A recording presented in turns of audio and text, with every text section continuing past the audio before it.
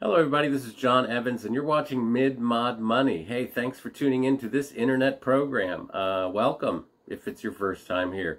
Uh, if you haven't subscribed, go ahead and subscribe because the first Monday of the month we give away a free vintage prize to a subscriber, one lucky subscriber. So hit like, hit subscribe, and uh, we got a great thrift store haul to show you today. High profit thrift store haul, which is really the best kind of thrift store haul, the high profit variety. The first thing I found at Christian Crossing in Maryland, rural Oakland, Maryland. I found these guys. Look at these. You know, people say Vikings are marauderous uh, peoples. Do these guys look like they'd cause any trouble coming to your town? Probably not. They look Scandinavian in nature. Uh, these are basically like tourist trade stuff from the 60s. Some kind of Scandinavian, Danish, Finnish company made these as little knickknacks for tourists. They're amazing in that they have all their helmets and the guy still has his spear. Their beards haven't been ripped off. These were an insta-buy. These were a quarter each. So I couldn't get these into my cart fast enough because I'm going to sell these for 15 bucks. No sweat. No fuss, no muss on these adorable. I would say these Vikings are adorable. Look at them. Look at them. Next thing I found was this.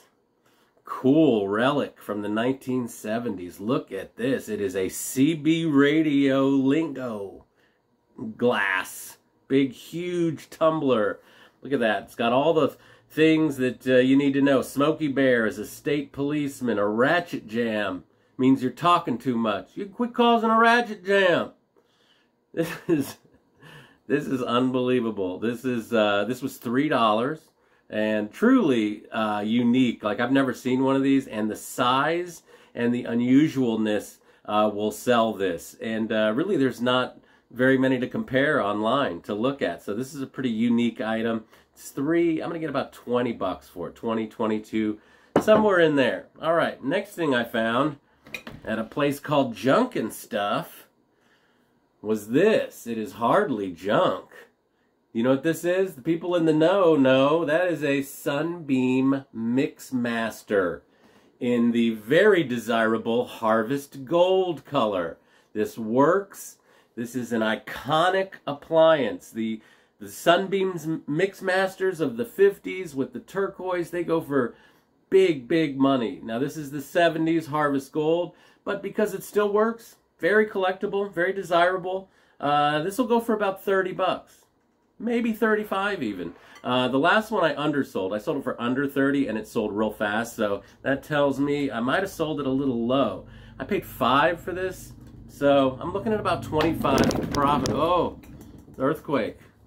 Center yourself. Okay. Um, so that was low profit stuff, right? And sometimes I will overpay on things uh, because I get a good deal here. I, I up pay over here, so it all balances out in the wash. Now this next thing I found is a prime example. You can overpay on the Mixmaster, maybe a little, slightly, eh, because this was $2.50. I found this door knocker from the 70s for 250 Notice that the, the price is written on that masking tape. Find yourself a thrift store that, that hand prices stuff. It's like they just want to get get it in, get it out. And that's that's my kind of thrift store. This was 250.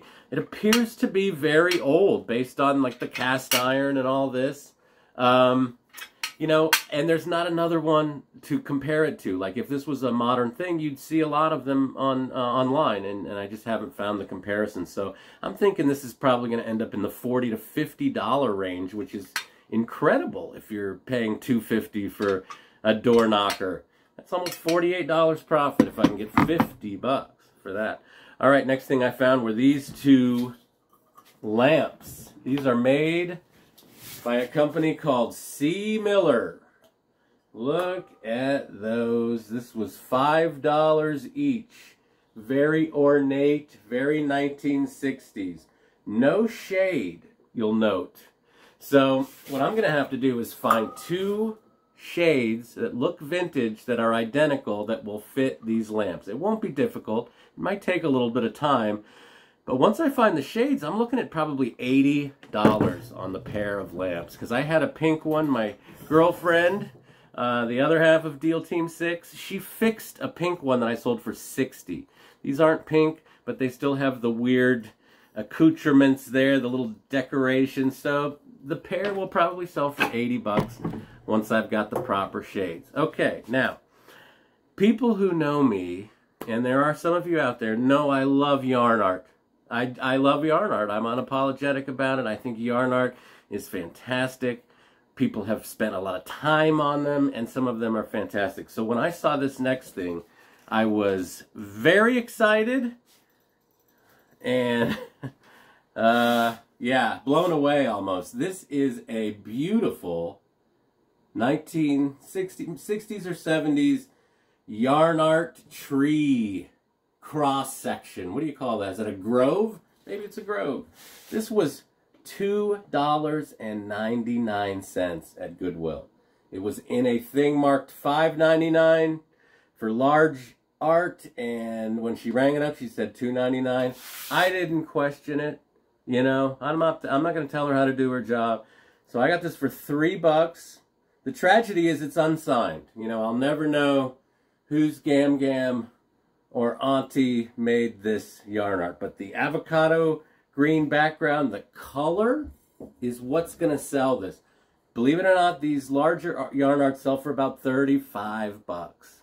Some of them, if they're more spectacular, uh, can go even higher. But I feel comfortable 35 on that, and I will get it because it's original, it's old, and very cool looking. All right, we're down to our last item, and uh, this this will not disappoint because these are truly hard to find vintage items. And I found this at the Goodwill outlet in Pittsburgh, Pennsylvania. The Goodwill bins, as they are known. I found this and this at the Goodwill bins. Now, what's amazing about that is if you know about the Goodwill bins, people claw through stuff, things get damaged, uh, things get broken, everyone's searching, everyone's in a hurry, they're, they're digging. So things get broken, things get chipped, things get messed up just by people shopping there. So to find these giant, these are life-size ceramic cats in the Goodwill bins for 50 cents each. Yes, if you have a Goodwill outlet, it's worth driving to. The glass and the ceramic is 50 cents each. It used to be 15 cents, now it's 50. But after heavy research, and these are a, a highly sought after by people in these mid-century groups, they want these because they are so uh, odd and unusual and large. Frankly, they're just giant life-size ceramic cats. And these go for about 50 bucks plus shipping on eBay, 40 to 50 plus each. So what I'm going to do, I'm going to sell them in my booth for hmm, a $100 for the pair. I would own if to ship them. Just get them in, get them out. Someone will pay that because that's what they go for online. And you don't have to ship. So, let's look at everything. Total, I spent $25 for everything, all that, $25.